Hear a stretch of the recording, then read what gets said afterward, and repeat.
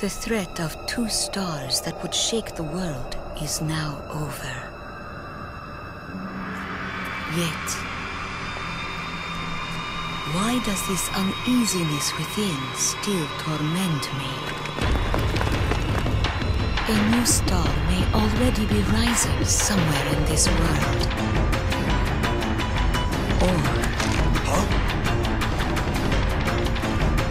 Whatever threat it may be, I will not allow it to serve my people's land.